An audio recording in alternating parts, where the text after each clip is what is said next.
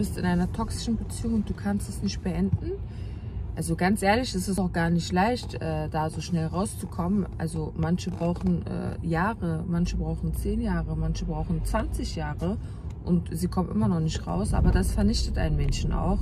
Weißt du, am Ende bist du äh, tot, aber nur nicht begraben. Weißt du, du lebst, denkst du, aber das ist doch kein, gar kein Leben mehr. Es hat gar keine Lebensqualität mehr.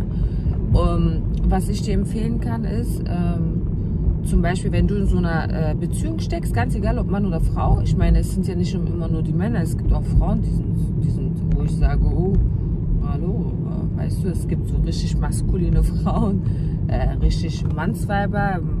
Ich habe gehört, manche Frauen schlagen sogar Männer. Also, das ist schon krass, das ist ein bisschen crazy.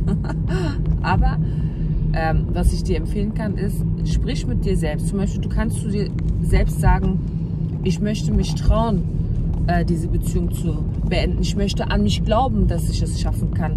Ich möchte daran glauben, dass ich ein besseres Leben verdiene.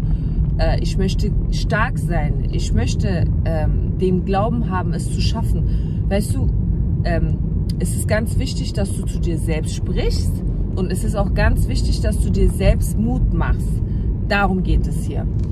Ähm, also ich kenne Frauen, die das so wirklich auch geschafft haben. Sie haben mit sich selbst gesprochen und da, das, da hat auch gar kein Therapeut oder so geholfen. Also da, hat, da konnte ihnen wirklich niemand helfen.